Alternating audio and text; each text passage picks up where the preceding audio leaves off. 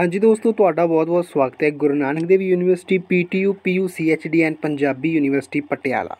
Exam 2021 internal assessment ਕਿਸ ਤਰ੍ਹਾਂ ਲੱਗੇਗੀ? ਬਹੁਤ ਵੱਡਾ ਬਦਲਾਅ ਕੀਤਾ ਗਿਆ ਯੂਨੀਵਰਸਿਟੀਆਂ ਵੱਲੋਂ। ਸਾਰੇ ਵਿਦਿਆਰਥੀ ਇਸ ਵੀਡੀਓ ਨੂੰ ਜ਼ਰੂਰ ਦੇਖਣ।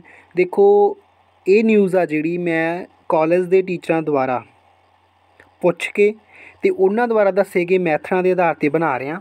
ਜਰੂਰ ਇਸ ਵੀਡੀਓ ਨੂੰ ਲਾਸਟ ਤੱਕ ਦੇਖਿਓ, ਆਪਣੇ ਦੋਸਤਾਂ ਨਾਲ ਸ਼ੇਅਰ ਕਰਿਓ ਤਾਂ ਜੋ ਉਹਨਾਂ ਨੂੰ ਪਤਾ ਲੱਗ ਸਕੇ ਕਿ ਉਹਨਾਂ ਦੀ ਇੰਟਰਨਲ ਅਸੈਸਮੈਂਟ ਕਿੰਨਾ ਆਧਾਰ, ਕਿੰਨਾ ਬੇਸਿਸ ਦੇ ਆਧਾਰ ਤੇ ਲੱਗੇਗੀ। ਥੋੜਾ ਮੋਟਾ ਤੁਹਾਨੂੰ ਵੀ ਪਤਾ ਹੋਵੇਗਾ ਕਿਉਂਕਿ ਤੁਹਾਡੇ ਟੀਚਰਾਂ ਨੇ ਤੁਹਾਨੂੰ ਜਰੂਰ ਦੱਸਿਆ ਹੋਊਗਾ। ਸਾਰੀ ਨਿਊਜ਼ ਅਪਡੇਟ ਇਸ ਵੀਡੀਓ 'ਚ ਦੱਸਾਂਗੇ। ਜਰੂਰ ਇਸ ਵੀਡੀਓ ਨੂੰ ਲਾਸਟ ਤੱਕ ਦੇਖਿਓ, ਨਾਲ ਹੀ ਚੈਨਲ ਨੂੰ ਸਬਸਕ੍ਰਾਈਬ ਕਰਕੇ ਬੈਲ ਆਈਕਨ ਨੂੰ ਪ੍ਰੈਸ ਕਰ ਲਿਓ। ਹਾਂਜੀ, ਸ਼ੁਰੂ ਕਰਦੇ ਹਾਂ ਵੀਡੀਓ ਚਾਹੇ ਤੁਸੀਂ ਕਿਸੇ ਵੀ ਯੂਨੀਵਰਸਿਟੀ ਦੇ ਵਿਦਿਆਰਥੀ ਹੋ ਤੁਹਾਡੇ ਲਈ ਮੋਸਟ ਇੰਪੋਰਟੈਂਟ ਹੋਣ ਵਾਲੀ ਇਹ ਵੀਡੀਓ ਇੰਟਰਨਲ ਅਸੈਸਮੈਂਟ ਤੁਹਾਡੀ ਬਹੁਤ ਜ਼ਰੂਰੀ ਹੁੰਦੀ ਹੈ ਜੇਕਰ ਤੁਸੀਂ ਯੂਨੀਵਰਸਿਟੀ ਦੇ ਵਿੱਚੋਂ ਪਾਸ ਆਊਟ ਹੋਣਾ। ਕੱਲੇ ਨੰਬਰ ਲੈਣੇ ਬਹੁਤ ਜ਼ਰੂਰੀ ਨਹੀਂ ਹੁੰਦੇ ਇੰਟਰਨਲ ਅਸੈਸਮੈਂਟ ਜੇਕਰ ਤੁਹਾਡੀ ਜ਼ੀਰੋ ਲੱਗ ਜਾਂਦੀ ਹੈ, ਤਾਂ ਤੁਹਾਡੇ ਨੰਬਰ ਜਿਹੜੇ ਕੱਟ ਦਿੱਤੇ ਜਾਂਦੇ ਨੇ, ਤੁਹਾਨੂੰ ਫੇਲ ਕਰ ਦਿੱਤਾ ਜਾਂਦਾ, ਕਿਉਂਕਿ ਇੰਟਰਨਲ ਅਸੈਸਮੈਂਟ ਬਹੁਤ ਜ਼ਰੂਰੀ ਹੈ, ਤੁਹਾਡਾ ਬਿਹੇਵੀਅਰ ਟੀਚਰ ਦੇ ਨਾਲ ਕਿਹੋ ਜਿਹਾ ਦੇਖਿਆ ਜਾਂਦਾ। ਹੁਣ ਕਿਹੜਾ ਬਦਲਾਅ ਕੀਤਾ ਗਿਆ ਤੁਹਾਨੂੰ ਦੱਸਦੇ ਹਾਂ।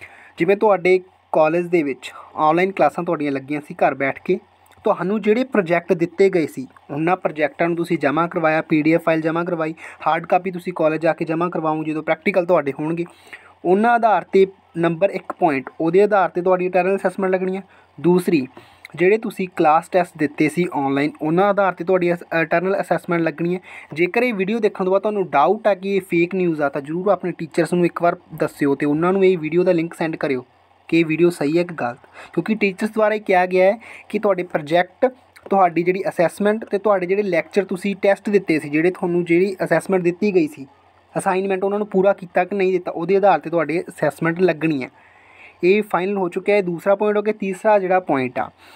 ਜਦੋਂ ਤੁਹਾਨੂੰ ਟੀਚਰ ਨੇ ਕਿਹਾ ਸੀ ਕਿ ਤੁਸੀਂ ਇਹ ਲੈਸਨ ਪ੍ਰਿਪੇਅਰ ਕਰਨਾ ਤੇ ਆਪਣੀ ਕਲਾਸ ਨੂੰ, ਆਪਣੀ ਕਲਾਸ ਵਰਕ ਨੂੰ ਆਪਣੇ ਦੋਸਤਾਂ ਦੇ ਨਾਲ, ਆਪਣੇ ਕਲਾਸਮੇਟ ਦੇ ਨਾਲ ਸ਼ੇਅਰ ਕਰਨਾ ਤੇ ਤੁਸੀਂ ਲੈਕਚਰ ਦੇਣਾ, ਉਹਦੇ ਆਧਾਰ ਤੇ ਨੰਬਰ ਲੱਗਣੇ ਨੇ ਤੁਹਾਡੇ।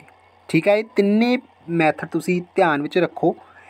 ਕਲਾਸ ਟੈਸਟ ਅਸਾਈਨਮੈਂਟ ਤੇ ਪ੍ਰੋਜੈਕਟ ਇਹਨਾਂ ਤਿੰਨਾਂ ਦਾ ਤੁਹਾਡੀ ਅਸੈਸਮੈਂਟ ਲੱਗਣੀ ਹੈ। ਜਰੂਰ ਇਸ ਚੈਨਲ ਨੂੰ ਸਬਸਕ੍ਰਾਈਬ ਕਰਕੇ ਬੈਲ ਆਈਕਨ ਨੂੰ ਪ੍ਰੈਸ ਕਰ ਦਿਓ।